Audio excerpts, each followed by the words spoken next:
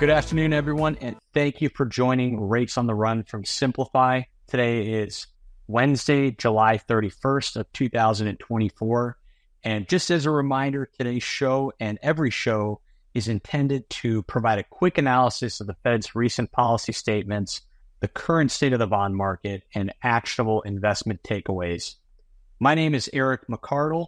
Today and every day, I'm joined by Jason England, our managing partner and fixed income strategist. Jason, good to see you. Thank you. Thanks for having me today, Eric. Absolutely. So let's get right into it. We're right off the back of a Fed presser. And Jason, I just want to ask you what was the outcome of today's meeting and uh, what are your interpretations of that? Yeah, so not huge expectations for anything today. I think we we realized uh, that they were going to be on hold once again. So now it's eight straight meetings. So they've been on hold for a year. So you know that's longer than the the average is usually around eight months that they're on hold after they stop a hiking campaign to the first cut.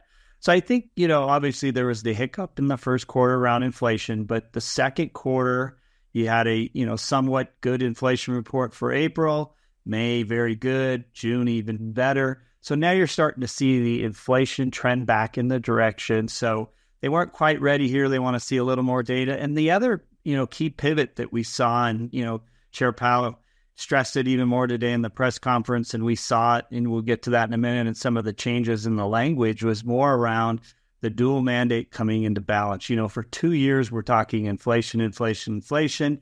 Now, you know, it's somewhat they were, you know, talking about the labor market now, and we did we have seen some significant softening. You know, unemployment rate has gone up, not drastically. It's still historically low at four point one percent, but in March it was three point eight percent. So we've seen it drift up. You know, kind of each job report we get, you know, unemployment rates creeping up. So you, you bring that in with the softening labor market, and you have a disinflationary trend starting to gain more confidence with the Fed so now I think you see this is probably the last meeting that isn't live. So throughout the rest of the year, we're going to see three more meetings September, November, and December. We should look at those as live meetings. Got it. And so with that, and we talked about this dual mandate coming back into effect, a little bit more focus on the labor market and the jobs picture. Were there any new, you know, pieces of information or surprises today, uh, not only in the, the press conference, but also maybe from the market's reaction to the uh, conference itself. Yeah, I, I, mean, I think it, you know, it, it didn't come across, you know, dovish or hawkish either way, kind of right down the middle, because I think they didn't want to telegraph that they were going to do anything in September at this meeting, and I think maybe the market was expecting that. So we we have seen a little bit of a rally in rates. We've seen, you know, we've seen the the uh, interest rate probability chart you're bringing up right now, where we've seen you know, for a while now to spend over 100% priced in a, a cut at the September meeting.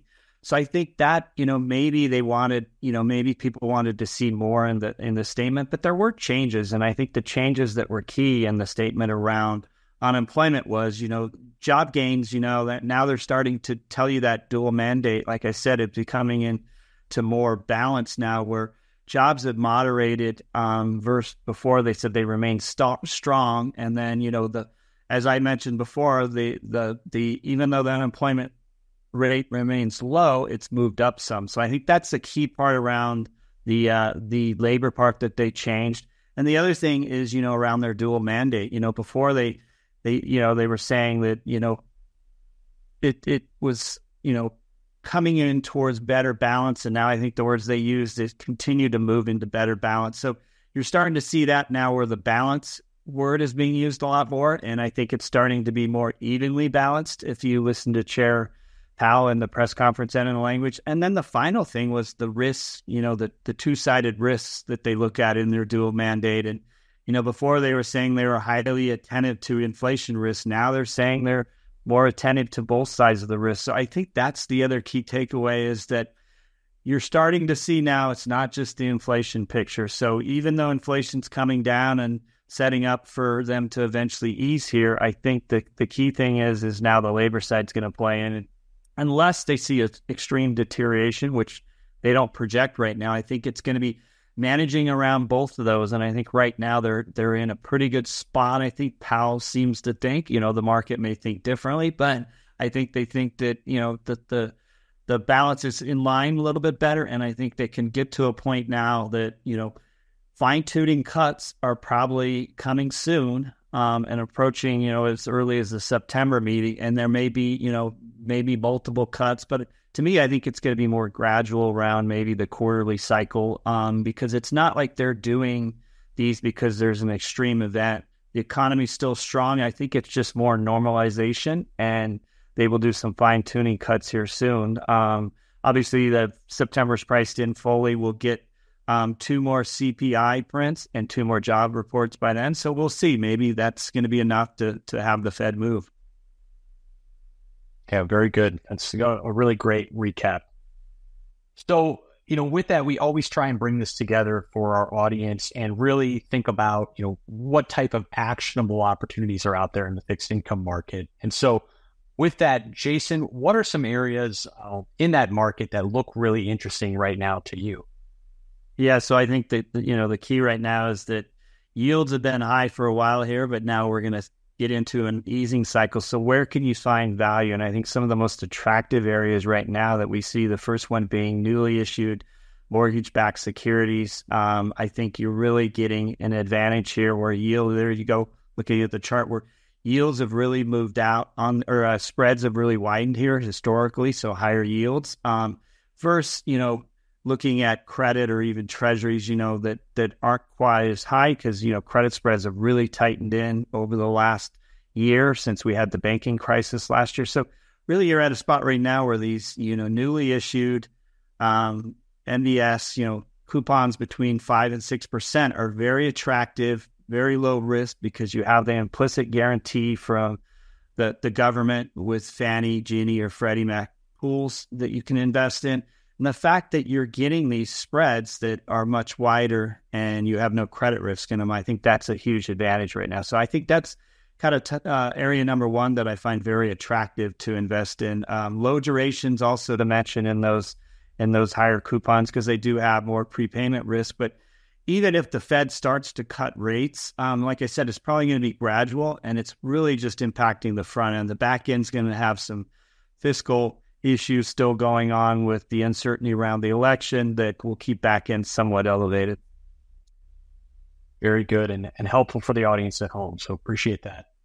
Yeah. Well, I, think, and then go ahead. Sorry. Nope. Go ahead. Sorry. I didn't realize you were done. I weren't done. Yeah. No, I have, I have a couple more areas too that I think are really, you know, the, the other one I think is the favoring the two year, obviously with the Fed starting to ease the two year is really going to benefit from that. Um, as I mentioned just in the you know, just recently about the uh, the the back end probably being a little bit more persistently higher just because of the uncertainty around the the the political environment and who what the, I don't think it really matters um, who gets elected um, because we have such a large fiscal deficit already.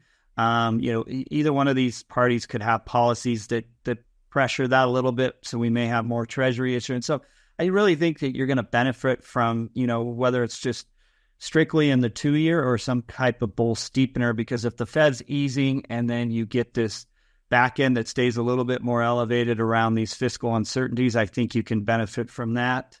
Uh, and then I guess the final area um, is, you know, I think right now, you know, last couple years, it's been really beneficial to take advantage of the floating rate notes or floating rate bonds, you know, just because in a rising rate environment. So now it's probably time to start moving to some fixed rate bonds and trying to lock into some of these yields. So, you know, in a in a nutshell, I think you with an easing cycle, you you know you want to lock in some of these higher rates that we hadn't seen for years and and take advantage of it. So overall, those are kind of the three areas that I think you can benefit in the fixed income market right now and kind of the most attractive. Love it. And I agree on all fronts, um, which is convenient because we're co-hosts. But uh, but really, I, I, think those are all really actionable and interesting ideas and great stories for clients too, which is important. So, uh, Jason, this was awesome. Thank you for the recap and for the ideas. Uh, for the audience watching or listening at home, please like, subscribe, comment, send us an email at info at simplify.us and let us know what you think. Uh, and in addition to that, if you have any questions about the investment themes that we discussed, again, please send us an email info at simplify.us or visit simplify.us. Jason, until next time, thanks everyone for watching and listening. Thanks, everybody.